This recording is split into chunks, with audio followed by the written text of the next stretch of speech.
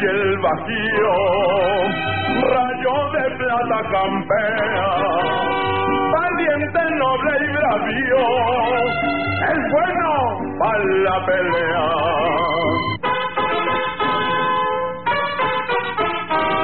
Rayo de plata.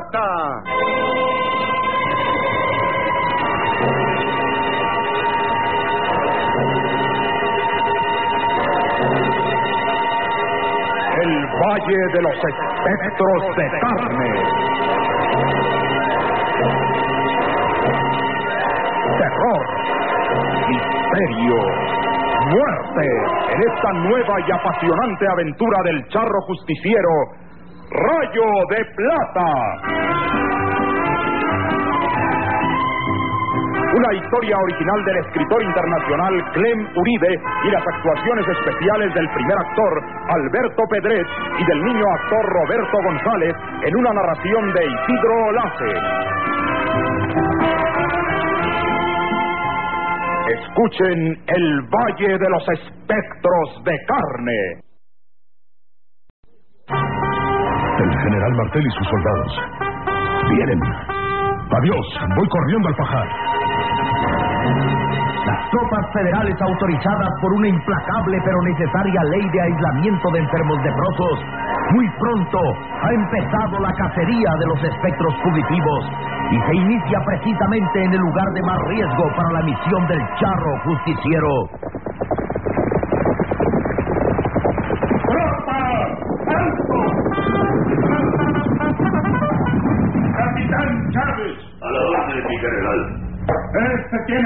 Un sitio lógico para que algunos de ellos busquen refugio.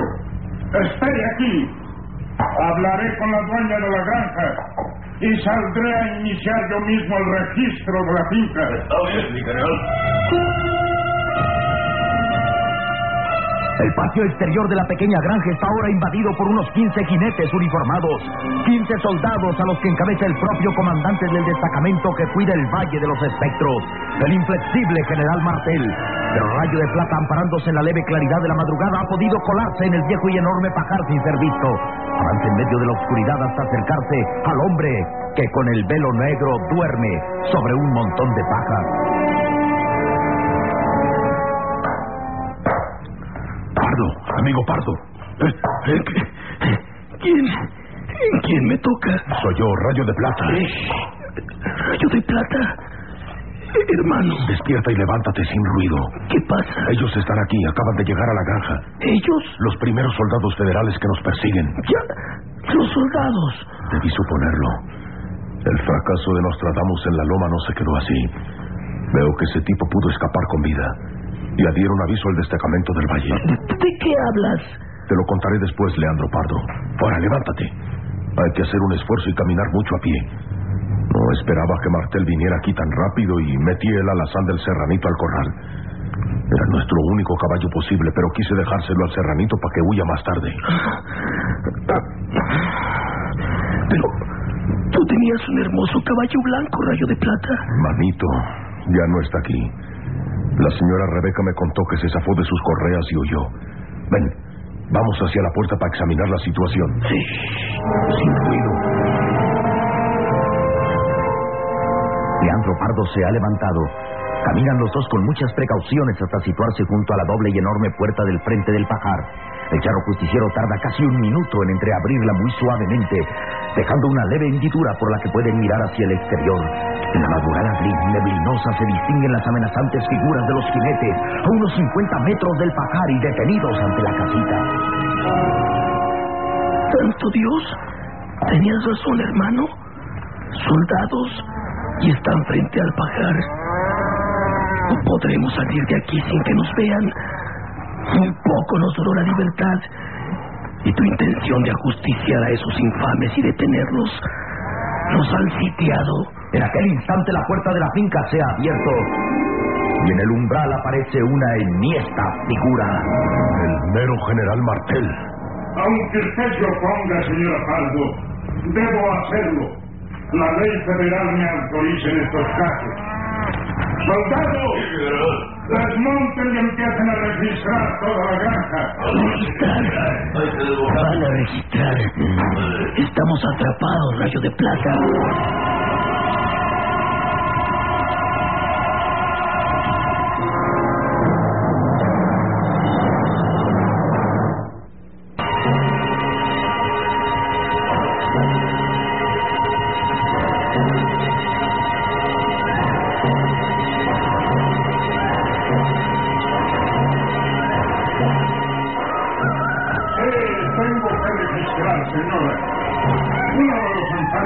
Cuidados, malaya con él, debe ser su marido.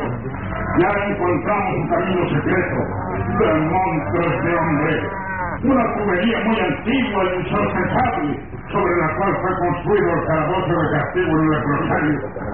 ¡Capitán Chávez! ¡Hágase cargo! ¡A la orden, general! Vaya tipo, se necesitaba valor para meterse en la alcantarilla, señora. Pero lo hizo una vez y tuvo que repetirlo. Debe ser. Y por ello deduzco que se esconde aquí. No, no, cumplo con mi deber, señora de Pardo. ¡Registren! ¡Mande tres soldados a revisar esta casa, capitán! ¡Del Estado! ¡De los corrales! ¡Nadie se pasar! El viejo y enorme pajar. Desde la puerta, asomándose por la insignificante hendidura Rayo de Plata y su compañero de fuga, ven como el general ha apuntado hacia el edificio de madera. Martel habla desde el umbral de la puerta dirigiéndose hacia adentro, donde debe sonar la voz de Rebeca trémula, angustiada, con el ahogo del espanto que le causa la desesperada situación. Los soldados desmontan y se desplazan rápidamente para iniciar la búsqueda. ¡Qué pálida y triste está la madrugada! Inútil. Buscarán en el pajar. Entreguémonos, rayo de plata. Aún no, no. ¿Qué remedio nos queda? Eh, tus pistolas. Con la brevísima claridad que se filtra por la hendidura de la puerta, el hombre del velo negro ha descubierto las formidables cajas blancas de aquellas poderosas armas que sobresalen en sus fundas. Tus armas. Pudiste recuperarlas. Fue una dura prueba, una lucha. Ya te contaré. Las tienes. Era lo que querías, rayo de plata. Empiezan a registrar. Pero, ¿de qué te servirán tus armas ahora? Dispararle sería la muerte, hermano. Ellos seis rifles y son muchos. 15 y el general, los he contado. Los pensamientos del charro justiciero parecen encauzarse en aquel instante por un sendero de observación y de cálculo. Más 15 trajo. Eso significa que mi estela de espectros de carne dio resultado, amigo Pardo. ¿Qué? Muy pocos soldados trajo el general para una búsqueda que parece ser harto importante para él. Esto quiere decir que tuvo que formar varias partidas de búsqueda. Dividió a sus doscientos y tantos soldados. ¿Cuántos enfermos lograrían fugarse? Tú contaste unos 16 flotando en el río de las calaveras Puede que hayan sido más, muchos más. ¿Acaso una fuga en masa? en masa. 20, 30 hombres, amigo Pardo. Eso debilitará las fuerzas del destacamento. ¡Ahora! ¡Ustedes registren esa construcción que parece un pajar! Ya han mandado hombres hacia aquí, rayo de plata. Instantes que ya son abrumadores. Cada segundo los aproxima más y más a la captura. Porque el capitán Chávez y dos soldados emprenden la marcha hacia la vetusta construcción. Con leve movimiento, Rayo de Plata cierra la hoja de la puerta y corre un pequeño pestillo. Eso los detendrá tantito. Y los intrigará. Eh, ¿Para qué? Entrarán de todas maneras. El prestigio es muy débil. Ya es imposible escapar. Por la puerta del frente nunca. Aunque la madrugada es gris y aún hay poca luz, nos hubieran visto, amigo Pardo. Pero hay otra puerta en este pajar. ¿Qué? La pequeña del fondo. Un día lo usaste tú para escapar de mí, ¿te acuerdas? Y me burlaste bien cerrando el fuerte cerrojo que esa puertita tiene por detrás. Todo depende ahorita que ese cerrojo esté descorrido. Vamos. Todo depende de que un cerrojo exterior esté descorrido. Cruzan toda la extensión del oscuro pajar hasta alcanzar la pequeña puerta del fondo, mientras que ya se escucha detrás de la puerta del frente la voz furiosa del general Martel. ¿Qué dice, capitán? ¡Ángela! ¡Deben estar adentro! ¡Salgan! ¡Entréguense ¡Díselo por dentro! ¡Responden, canalla! Todo depende de un vil cerrojo. Y al aproximarse a la puerta trasera, la mano de rayo de plata tiembla un poco cuando empuja la tosca hoja. Y ya está gira. No pusieron el cerrojo. Gracias a Dios, ¡Qué Rayo. caray! Bien dicen que no hay peor lucha que la que no se hace. Pero apenas empieza la lucha, Pardo. Tendremos que correr, correr duro. ¿Acaso logremos despistarlos en algún agujero? ¡Vámonos! ¡Capitán! ¡Eche abajo esta puerta, tío! Y cuando el general penetra ya al viejo pajar, ¡Lo sabía! Se escondieron aquí y han huido por esa puerta del fondo. ¡No están muy lejos! ¡Los capturaremos!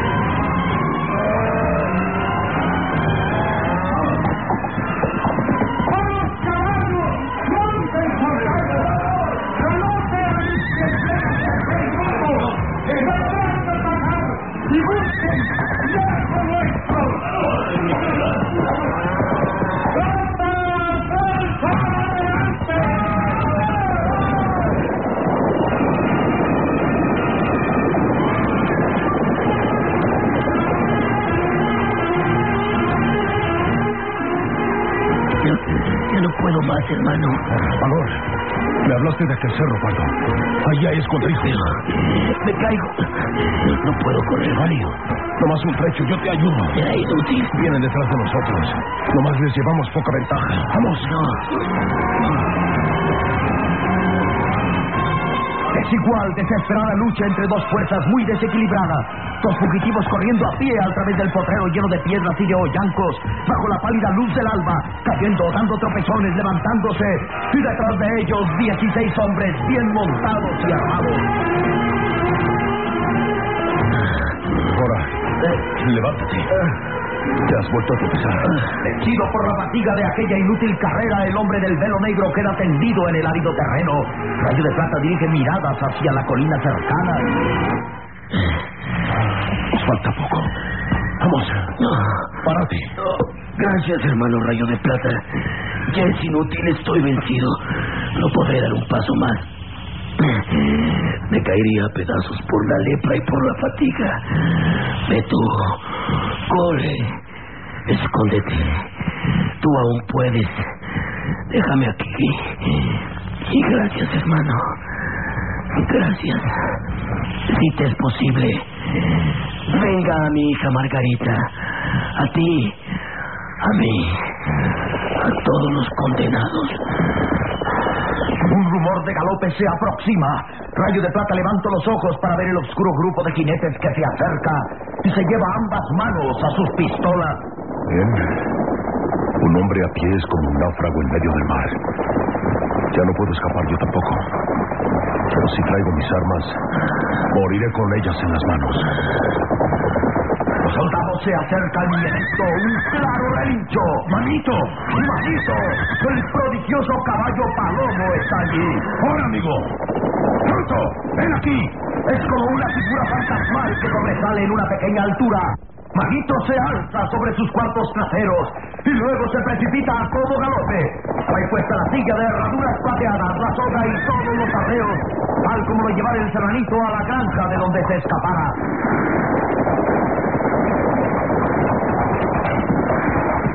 ¡Amigo! Caballo. Sí, escapó para buscarme y me ha encontrado. ¡Pronto, Pardo!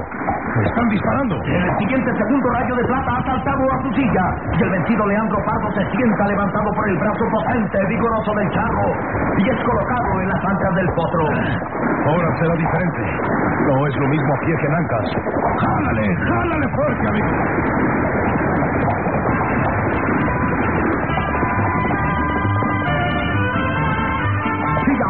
Es diferente con la aparición del prodigioso manito que arranca a todo galope. Rayo de Plata ha recobrado también su caballo y su soga y en el júbilo de su escapatoria providencial, Rayo de Plata lanza su grito de combate. Porque ningún caballo en este y muchos territorios puede correr tan velozmente como el gran manito.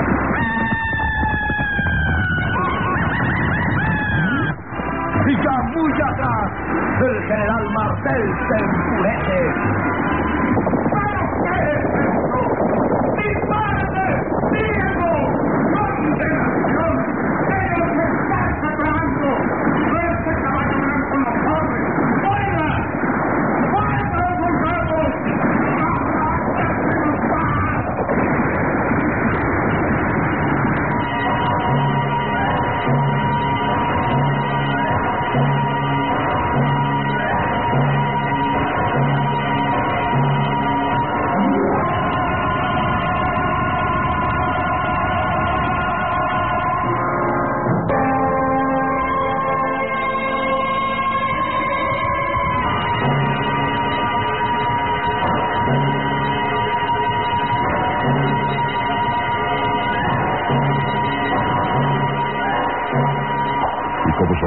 Cuenta, General Martel, la gente del pueblo está asustada, con miedo al contagio.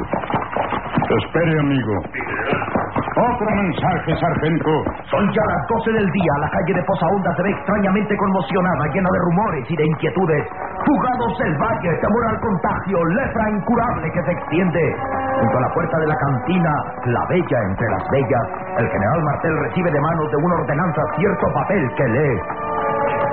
Fue una lástima que ese charro sureño se le escapara a usted, general. Vaya, apuesto a que es él el que originó esta fuga. Y tenemos justificadas razones para temer que el hombre haya escapado con propósitos de venganza. Pero, me oye, general. Sin duda nos acusará de algo. Usted y sus soldados tienen que protegernos, general.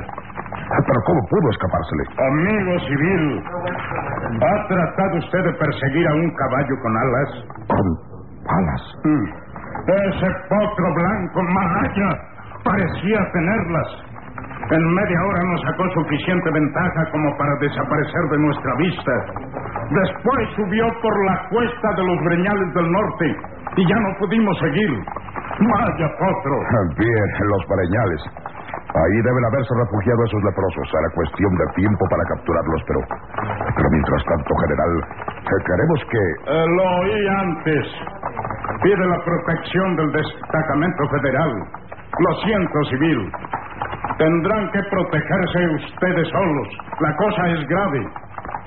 Voy a verme obligado a establecer la ley marcial, a consultar con el jefe de sanidad, tal vez buscar refuerzos. ¿Cómo? ¿Refuerzos? ¿Solamente por dos leprosos fugados? Gravemente el general Martel le alarga la hoja de papel al remilgado Nostradamus y... Lea, entérese, civil. Es el informe final que acabo de recibir de mis siete brigadas de búsqueda. Desde el valle, mis soldados y yo estaremos muy ocupados. Informes. Pero, ¿qué dice? Hecho recuento con sumo esfuerzo.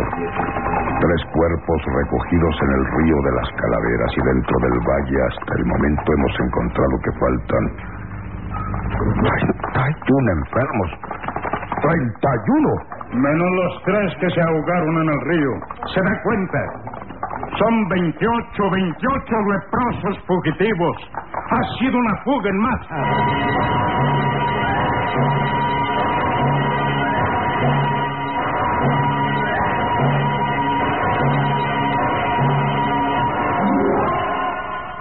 El Valle de los Espectros de Carne.